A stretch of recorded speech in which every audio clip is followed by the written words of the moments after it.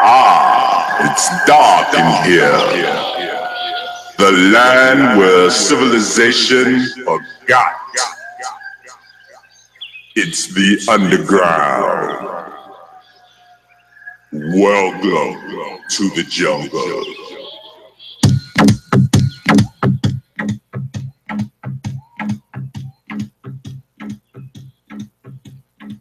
Bienvenidos a una nueva transmisión de Contrapeso Mediático, un espacio abierto a la verdad. Bueno, pues antes que nada quiero pedir una disculpa ya que pues se borraron en, en esta semana aproximadamente 20 videos de mi canal de manera inexplicable o tal vez podría ser explicable, ¿no? Pero eh, nuevamente vamos a subir esta información en relación a las verdaderas intenciones del STLN rumbo al 2018. Bueno, pues todo esto comienza con los acuerdos de San Andrés, ¿no? Estos acuerdos de San Andrés, eh, pues son básicamente un reclamo legítimo de los pueblos indígenas en el cual pide, exige que se les reconozcan los derechos a su libre determinación y a su libre autonomía. Esto es, bueno, es básicamente lo que, lo que ellos están exigiendo, ¿no? En el año de 1988, pues hay que recordar, hubo un fraude, ¿no? Y, y después de cada fraude siempre vienen las consecuencias fatales de la imposición. En 1988, como les comentaba en el fraude que hubo hacia el ingeniero Cuauhtémoc Cárdenas, pues desgraciadamente eh, a raíz de él, pues se impuso este ser siniestro que ya todos conocemos, Carlos Salinas de Gortari, en el cual, bueno, eh, vino a, pues, a ser el principio del fin. Este personaje siniestro en el año de 1992 empezó con las fa famosas reformas constitucionales que ya todos venimos conociendo que ha sido la medicina que nos han dado durante muchos años y que no hemos logrado despertar y, y saber que tenemos que librarnos ya pues de ese pues de ese lastre que, que nos viene siguiendo desde hace muchos años. Esta reforma constitucional fue el artículo 27 que básicamente pues permitía que se pudieran ya vender eh, el suelo ejidal. Eh, esto, bueno, se puede constatar en un video que les voy a dejar varios links de videos en el cual, bueno, López Obrador en los años 90 está luchando por las tierras de los campesinos a raíz de que pues, esta reforma permitía que se vendieran los, el suelo ejidal pues Pemex, eh, a través de, bueno, fue el gobierno de, de Madrazo, pues compró varios terrenos ejidales. Aquí el problema es que los compró, pero nunca los pagó. Eso fue un despojo en el cual, bueno, pues él estuvo en la lucha y, y pues cabe, cabe mencionar que el video se encuentra en este canal y le digo el link, se los voy a dejar, ¿no? Bueno, estos pueblos eh, básicamente tenían el carácter, eh, bueno, tenían su derecho al reconocimiento de estos derechos y tenían un carácter de eh, pues inembargables, inalienables, que esto básicamente quiere decir que no se pueden enajenar, ¿no? Eran imprescriptibles eh, de igual manera. Todos estos derechos que se tenían, pues con esta, con esta reforma se echaron abajo. En 1994, ya posterior a esta reforma, cuando bueno, ya se, logró que se pasara, ya que como ustedes recuerdan, el PRI tenía mayoría también en la Cámara y pasaba lo que, lo que se quería, ¿no? En el 94 hubo un levantamiento en San Cristóbal de las Casas, en 1994. Esto fue el primero de enero, que fue pues, la fecha significativa en el cual el ZLN pues, sale de manera más visible a la luz, ya que pues toma la cabecera del municipio eh, San Cristóbal de las Casas y bueno, pues este, esta noticia se, se, llega a todo el país, ¿no? En el mismo año del 94, pero esto fue el 6 de enero, viene una matanza, ¿no? Es una represión en contra de los indígenas. Y digo en contra de los indígenas porque realmente, pues Marcos no murió, ni mucho menos los representantes que van hasta adelante, que debajo de esas máscaras se ven los ojos claros, se ven que traen armas, mientras a los pobres indígenas los traían con puros palos. Pero bueno, eh, sigamos, sigamos analizando. El día 10 de enero se suspende la iniciativa de fuego. Esto, todo esto que les digo, pues ahí también se constata en un video que les, les dejo ahí el link, en el cual, bueno, este 20 de enero se otorga, eh, perdón, el 10 de enero este, se, suspende, se otorga ya, eh, pues por así decirlo, eh, pues una iniciativa de paz, ¿no? Hacia el ZLN. El 20 de enero, pues ya de manera concreta y ahora, ahora sí se otorga una amnistía a todos los participantes de esos hechos de violencia, en este caso al gobierno zapatista, ¿no? Eh, pues aquí cabe mencionar que, pues, conociendo este personaje tan siniestro como lo es Carlos Salinas de Gortari, mm, pues es verdaderamente extraño, ¿no? Que tenga el buen corazón de brindar esta amnistía a los pueblos indígenas. Evidentemente aquí hay que hacer una reflexión del por qué, por qué después de que platica con Marcos cambian tantas situaciones, por qué después de que los doblega eh, entonces ya les otorga un perdón, pero también el por qué los pueblos indígenas posterior a esto empiezan a, olvidarse un poco del gobierno y empiezan a golpear un poco más a los actores políticos de izquierda, como más adelante lo, veremos eh, desglosando, lo veremos escrutinando. Eh, posterior a esto, en 1997, se da la matanza de Actal con el gobierno de Cedillo. Eh, bueno, en este, en este hecho, pues el ZLN participa también de, de manera activa a favor de, pues, de estas personas. esto lo sale el comentario porque, pues, evidentemente les digo, surgió como un reclamo legítimo y se colgaban y se abanderaban de reclamos indígenas, pero meramente el movimiento se estaba manipulando para los fines específicamente de este señor Carlos Salinas de Gortari. En el 2000, pues sabemos que ganó Fox, ¿no? Gana Fox con una falsa alternancia. En, estos, en todos estos años, del 94 al 2000, nos preguntamos dónde estuvo el ZLN en defensa de los derechos de los pueblos indígenas y de la nación. ¿En dónde estuvo? Aletargado, dormido no hizo absolutamente nada. Ok, podrían decir, bueno, el PRI dominaba y tal vez eh, se le dio el voto de confianza al PAN, pudiera decirse. Después de esto, después de que gana Fox en el 2001, se discute en la Cámara de Diputados la ley indígena, la aprobación de la ley indígena.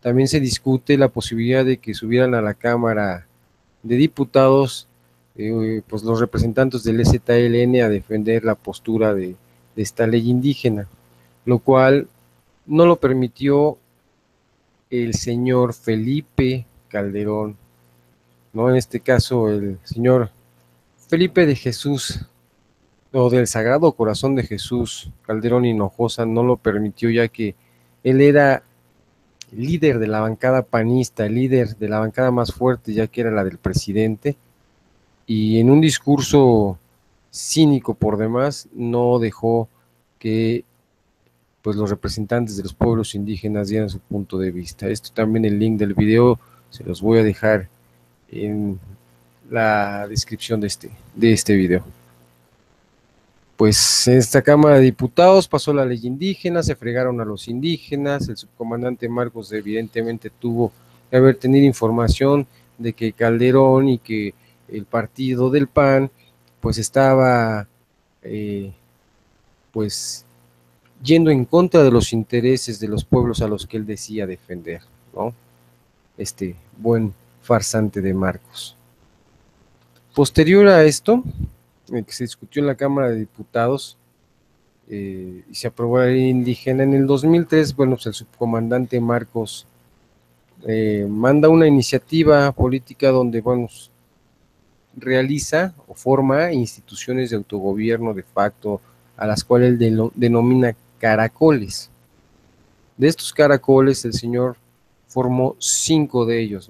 Estos cinco caracoles que formó, pues es de aproximadamente 30 a 35 municipios que estaban conformados, pues estos caracoles casualmente, eh, casualmente viven viven actualmente y vivían mejor que los pueblos indígenas que viven a las orillas.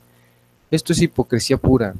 Si se lucha por los indígenas, se lucha por todos, no se, lucha, únicamente por los que son zapatistas, por los que están eh, en el movimiento. Esto, esto es pues también una forma de, de condicionar a los pueblos indígenas adherirse a un movimiento que posiblemente deje o dejó de ser legítimo desde hace ya bastantes años.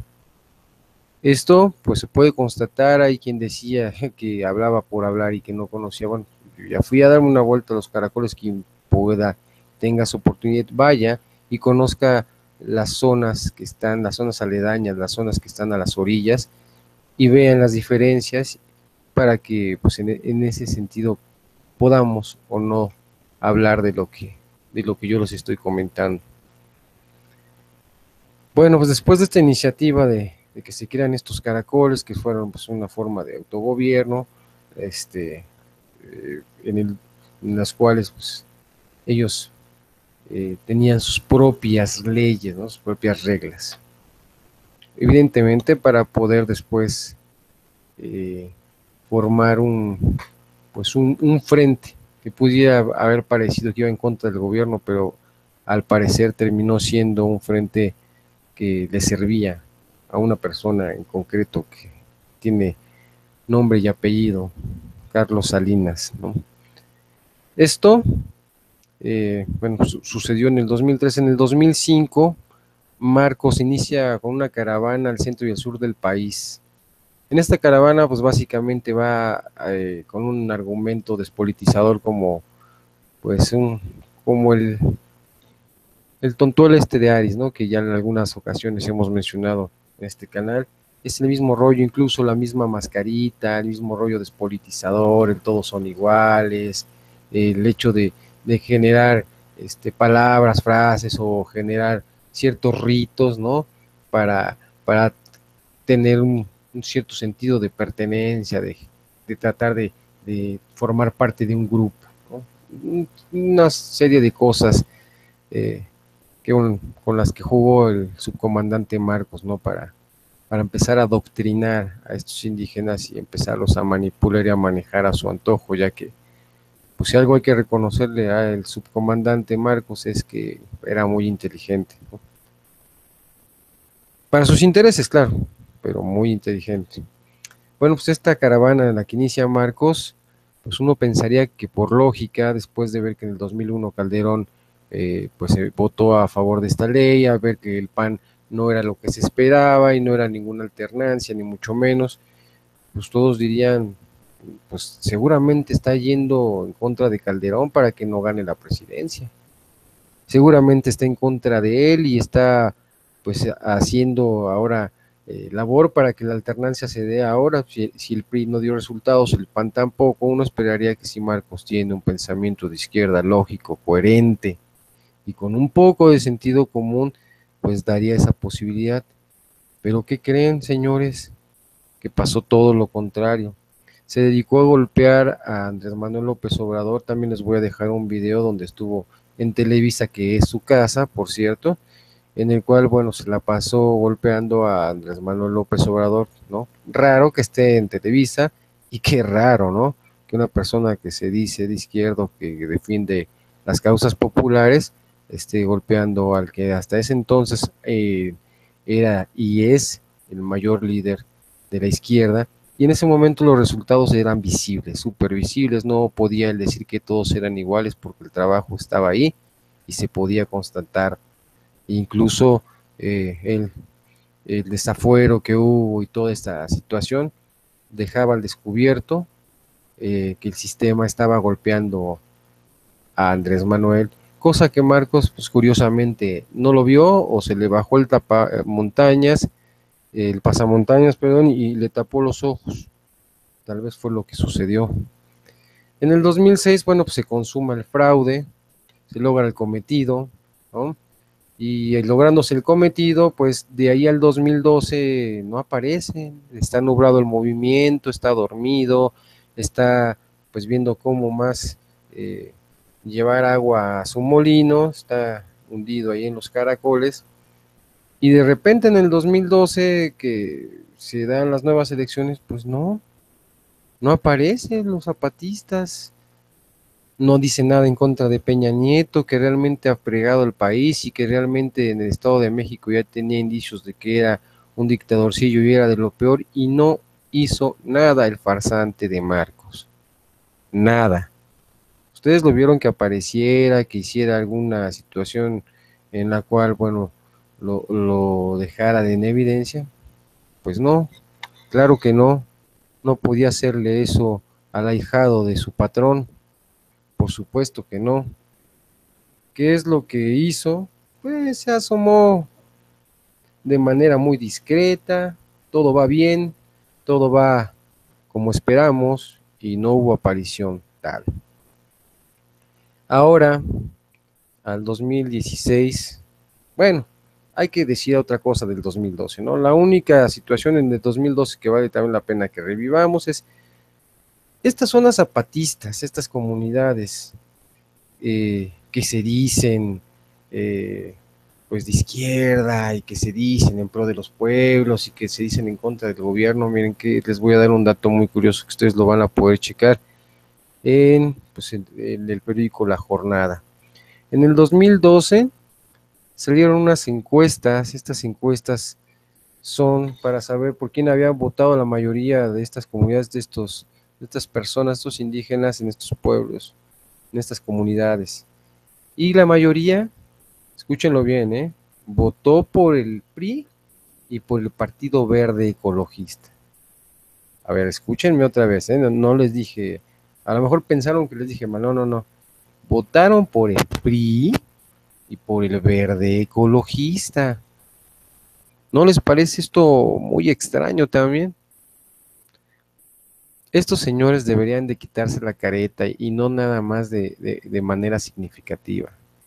De verdad, si ellos no se la quitan, nosotros ciudadanos hay que despertar, hay que quitárselas, hay que evidenciarlos, hay que hacerlos ver como los farsantes que en realidad son. Por eso, también mi molestia con Fernández Noroña, que últimamente está atacando a AMLO y que critica porque dice que AMLO dijo o denos, denostó el, eh, la propuesta del ZN, ZLN a, a, contener la candidatura presidencial. Pero ahí está. Ahí está la información. Gerardo también la sabe, la conoce. Ahora resulta que el ZLN es blanca, una blanca paloma y que Obrador tiene la culpa por no decir correctamente eh, lo que dijo. Lo que dijo y lo que nos informó y lo que nos advirtió es una verdad a secas. Única y, y sencillamente es que es políticamente incorrecto porque se iban a agarrar de ahí y porque iban a empezar como el estúpido ese de personajes México a decir que no quiere a los indígenas y que es una persona que los denoste y que estupideces como esas. Ahora les digo que Obrador también les voy a dejar un video en el cual invita, de, ya tiene tiempo este video, ya tiene tiempo esta propuesta, ya tiene tiempo esta invitación al movimiento zapatista a platicar, a que se haga un solo movimiento, a que se, se unifique en pro de la gente. A esta propuesta no se ha respondido. Entonces, que no se diga que no hay voluntad política por parte de Andrés Manuel López Obrador, que no se diga que no, que no quiere a los pueblos indígenas, porque ahí está el video que les dije que les voy a dejar en el link, donde lucha por los indígenas, incluso con su integridad se ve como gente con rifles lo empuja, gente Eso, eso jamás lo vieron en Marcos. Eso jamás pasará con el movimiento zapatista, porque aunque Marcos ya no esté, aunque se quede una mujer, aunque pongan a una cara, que pongan lo que pongan, el movimiento está podrido desde las entrañas. Por eso, reflexionen su voto, amigos. Reflexionen y vean que nos quieren dividir entre la ZLN, entre Gerardo Fernández Noroña, entre los nuevos panistas, eh, bueno, entre toda esta gente que ya sabemos. Únicamente les pido que ya despertemos y que podamos llevar a este país a un mejor rumbo. Como siempre, los espero sus comentarios en la caja, comentarios de este video. Y esto fue una transmisión más de contrapeso mediático, un espacio abierto a la verdad. AMLO 2018. No te dejes engañar.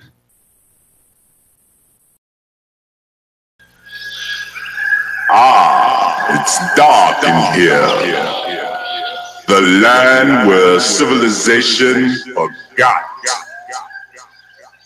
It's the underground. Welcome to the jungle.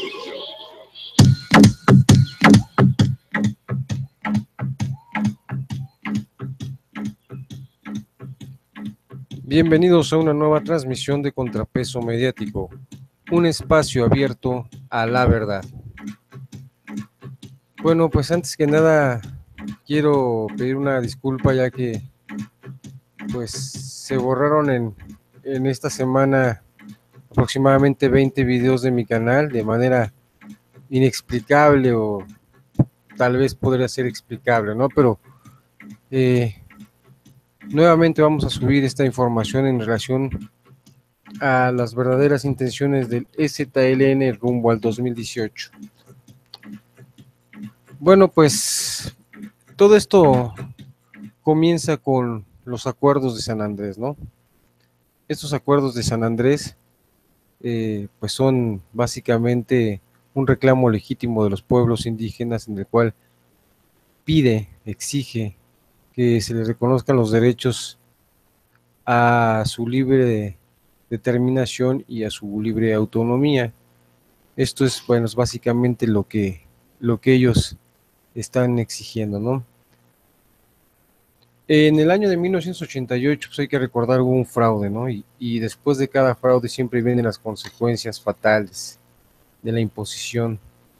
en 1988, como les comentaba en el fraude que hubo hacia el ingeniero Cuauhtémoc Cárdenas, pues desgraciadamente eh, a raíz de él, pues se impuso este ser siniestro que ya todos conocemos, Carlos Salinas de Gortari, en el cual, bueno, eh, vino a, pues, a ser el principio del fin, ¿no?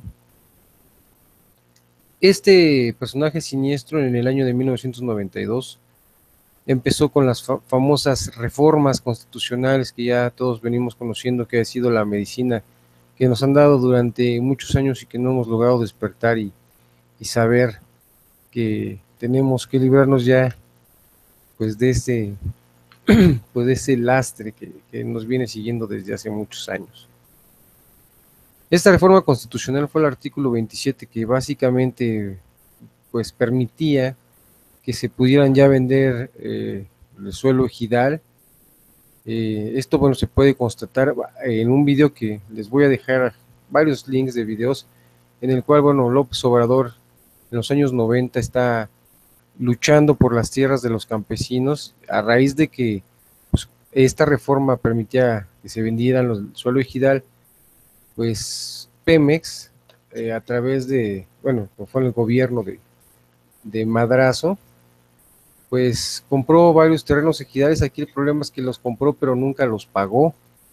Eso fue un despojo en el cual, bueno, pues él estuvo en la lucha y, y pues cabe, cabe mencionar que el video se encuentra en este canal y le digo el link, se los voy a dejar, ¿no? Bueno, estos pueblos eh, básicamente tenían el carácter y vean las diferencias para que pues en, en ese sentido podamos o no hablar de lo que de lo que yo les estoy comentando. Bueno, pues después de esta iniciativa de, que se crean estos caracoles, que fueron pues una forma de autogobierno, este, eh, en, las cuales pues, ellos eh, tenían sus propias leyes, sus propias reglas.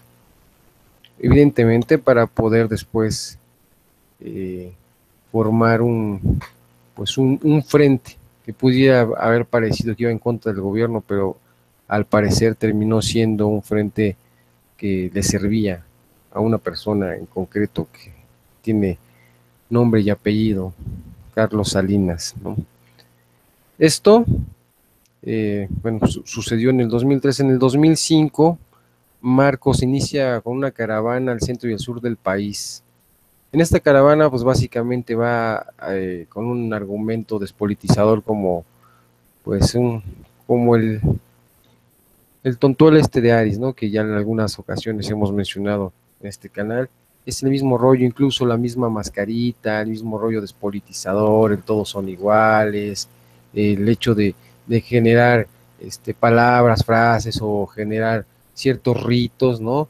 Para, para tener un, cierto sentido de pertenencia, de, tratar de, formar parte de un grupo, Una serie de cosas eh, que con las que jugó el subcomandante Marcos, ¿no? Para, para empezar a adoctrinar a estos indígenas y empezarlos a manipular y a manejar a su antojo, ya que, pues si algo hay que reconocerle al subcomandante Marcos es que era muy inteligente, Para sus intereses, claro, pero muy inteligente. Bueno, pues esta caravana en la que inicia Marcos, pues uno pensaría que por lógica, después de ver que en el 2001 Calderón eh, pues se votó a favor de esta ley, a ver que el PAN no era lo que se esperaba y no era ninguna alternancia, ni mucho menos, pues todos dirían, pues seguramente está yendo en contra de Calderón para que no gane la presidencia. Seguramente está en contra de él y está pues haciendo ahora eh, labor para que la alternancia se dé ahora. Si, si, el PRI no dio resultados, el PAN tampoco, uno esperaría que si Marcos tiene un pensamiento de izquierda lógico, coherente, y con un poco de sentido común, pues daría esa posibilidad. Pero ¿qué creen, señores? Que pasó todo lo contrario. Se dedicó a golpear a Andrés Manuel López Obrador. También les voy a dejar un video donde estuvo en Televisa, que es su casa, por cierto, en el cual, bueno, se la pasó golpeando a Andrés Manuel López Obrador, ¿no? Raro que esté en Televisa y qué raro, ¿no? Que una persona que se dice de izquierdo, que defiende las causas populares, esté golpeando al que hasta ese entonces eh, era y es el mayor líder de la izquierda. Y en ese momento los resultados eran visibles, súper visibles, no podía decir que todos eran iguales porque el trabajo estaba ahí y se podía constatar. Incluso eh, el, desafuero que hubo y toda esta situación dejaba al descubierto eh, que el sistema estaba golpeando a Andrés Manuel cosa que Marcos, pues curiosamente, no lo vio o se le bajó el tapa eh, montañas, el pasamontañas, perdón, y le tapó los ojos. Tal vez fue lo que sucedió. Bueno, tenían su derecho al reconocimiento de estos derechos y tenían un carácter de eh, pues, inembargables, inalienables, que esto básicamente quiere decir que no se pueden enajenar, ¿no? Eran imprescriptibles de igual manera todos estos derechos que se tenían, pues con esta, con esta reforma se, echaron abajo. En 1994, ya posterior a esta reforma, cuando bueno, ya se, logró que se pasara, ya que como ustedes recuerdan, el PRI tenía mayoría también en la Cámara y pasaba lo que, lo que se quería, ¿no?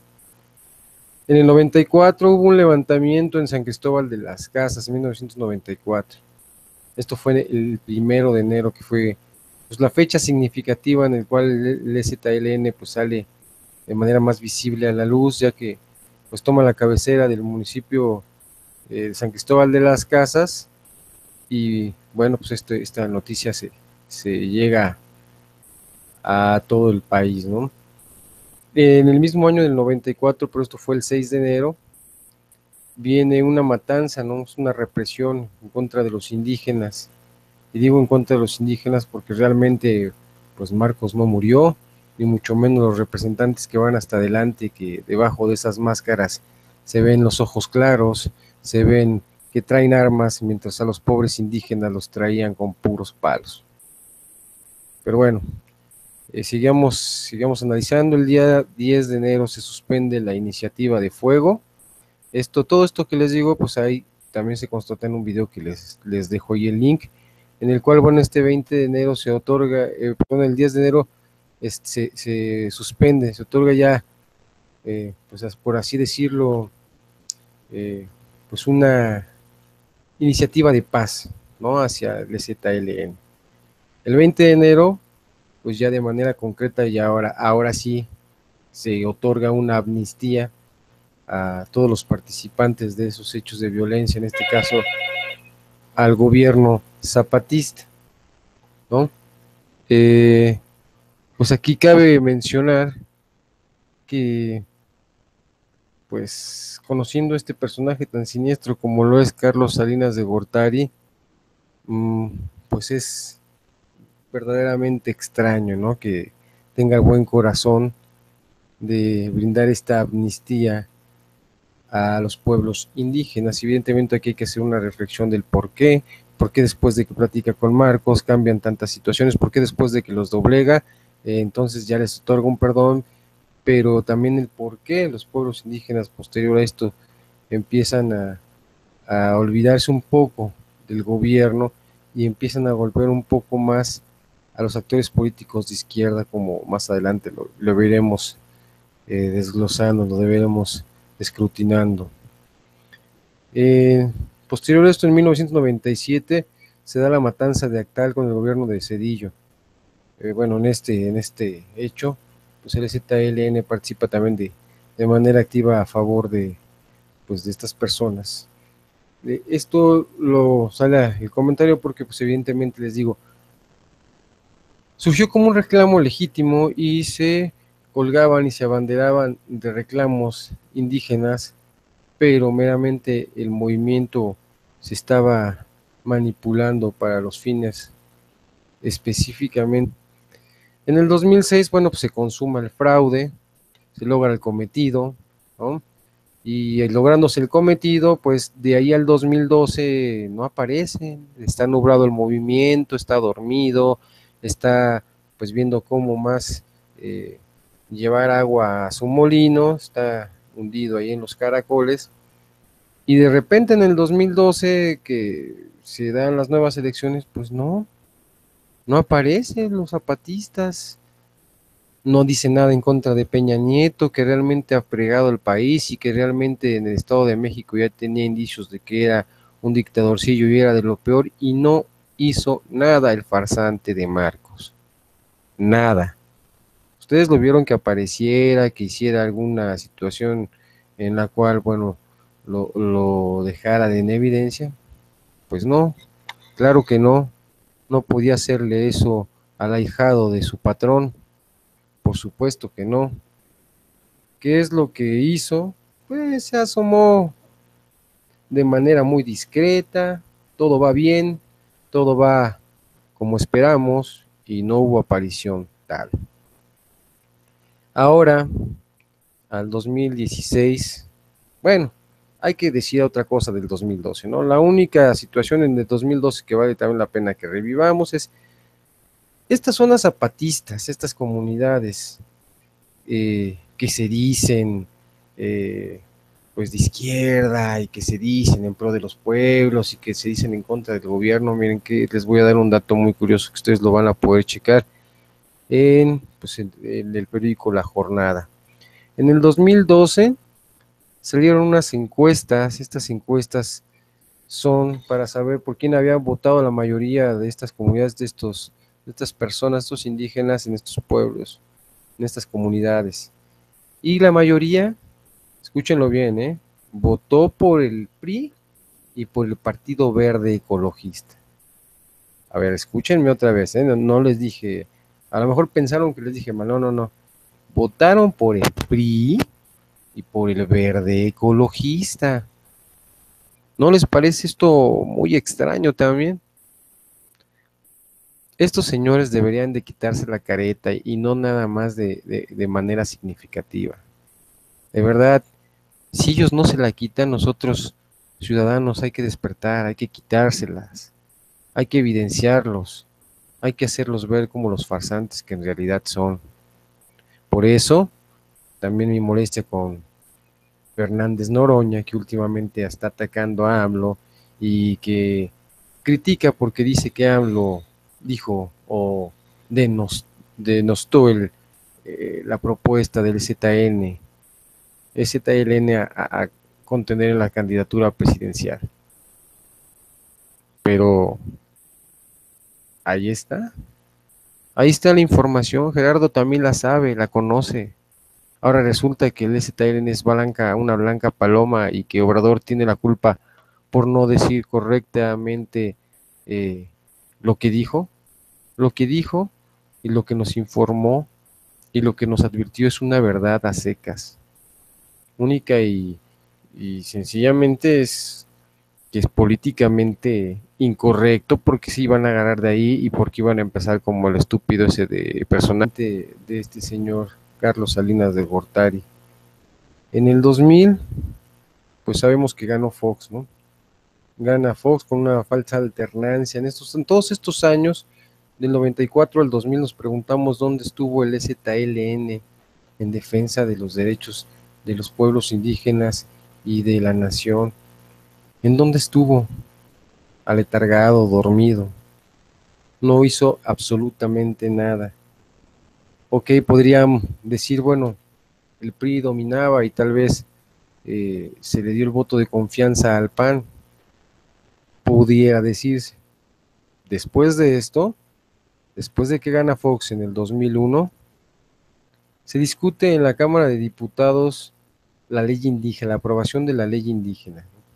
También se discute la posibilidad de que subieran a la Cámara de Diputados eh, pues los representantes del ZLN a defender la postura de, esta ley indígena, lo cual no lo permitió el señor Felipe Calderón, ¿no? En este caso, el señor Felipe de Jesús, o del Sagrado Corazón de Jesús, Calderón Hinojosa, no lo permitió ya que él era líder de la bancada panista, líder de la bancada más fuerte, ya que era la del presidente, y en un discurso cínico por demás no dejó que pues los representantes de los pueblos indígenas dieran su punto de vista. Esto también el link del video se los voy a dejar en la descripción de este, de este video.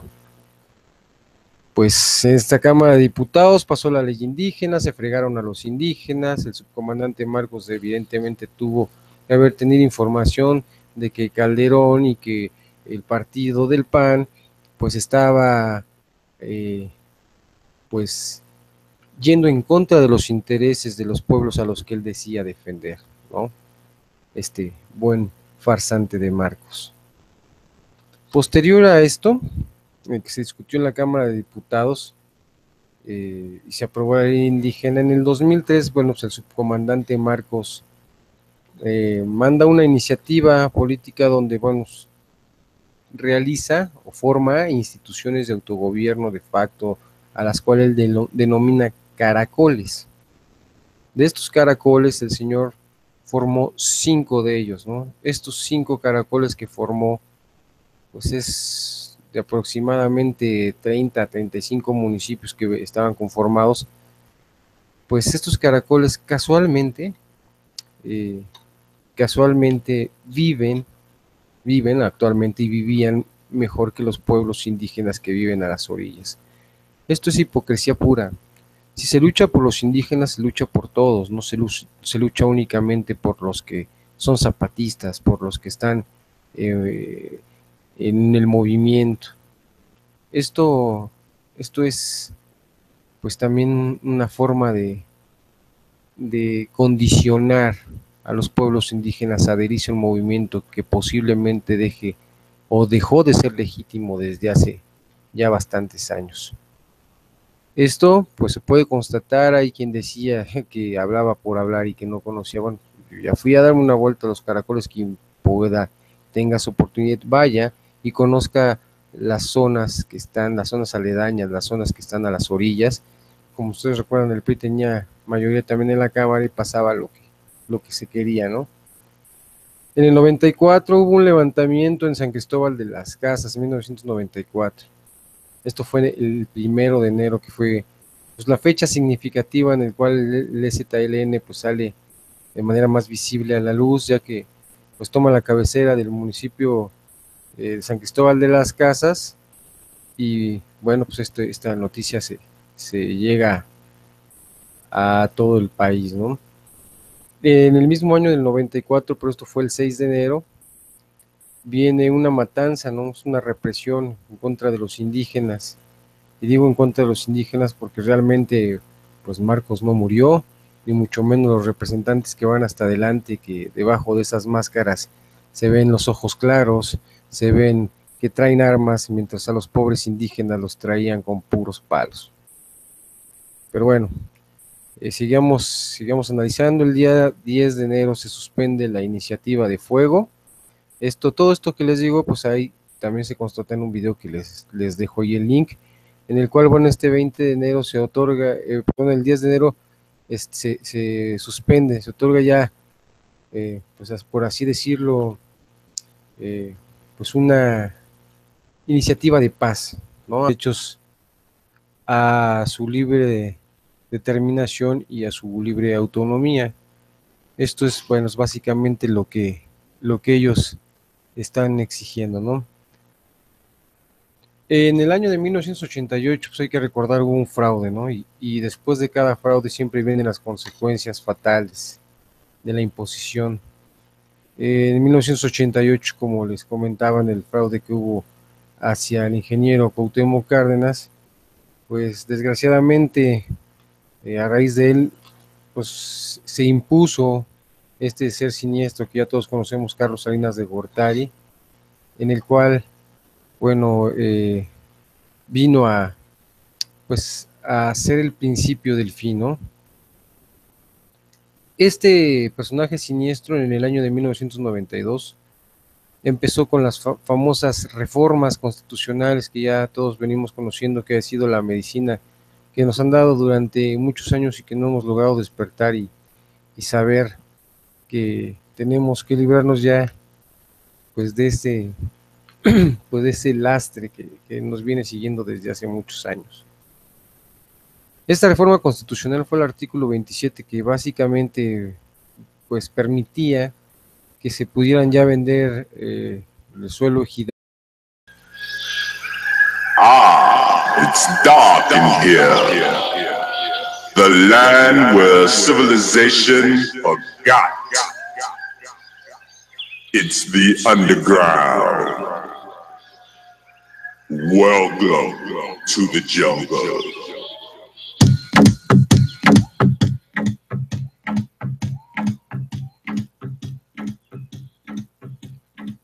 Bienvenidos a una nueva transmisión de Contrapeso Mediático, un espacio abierto a la verdad. Bueno, pues antes que nada quiero pedir una disculpa ya que pues se borraron en, en esta semana aproximadamente 20 videos de mi canal de manera inexplicable o tal vez podría ser explicable, ¿no? Pero eh, Nuevamente vamos a subir esta información en relación a las verdaderas intenciones del STLN rumbo al 2018. Bueno, pues todo esto comienza con los acuerdos de San Andrés, ¿no? Estos acuerdos de San Andrés, eh, pues son básicamente un reclamo legítimo de los pueblos indígenas en el cual pide, exige que se les reconozcan los derechos. Eh, esto, bueno, se puede constatar en un video que les voy a dejar varios links de videos en el cual, bueno, López Obrador en los años 90 está luchando por las tierras de los campesinos a raíz de que pues, esta reforma permitía que se vendieran los suelo ejidal, pues Pemex, eh, a través de, bueno, fue el gobierno de, de Madrazo, pues compró varios terrenos ejidales. Aquí el problema es que los compró, pero nunca los pagó. Eso fue un despojo en el cual, bueno, pues él estuvo en la lucha y, y pues cabe, cabe mencionar que el video se encuentra en este canal y le digo el link, se los voy a dejar, ¿no? Bueno, estos pueblos eh, básicamente tenían el carácter, eh, bueno, tenían su derecho al reconocimiento de estos derechos y tenían un carácter de eh, pues, inembargables, inalienables, que esto básicamente quiere decir que no se pueden enajenar, ¿no? Eran imprescriptibles de igual manera.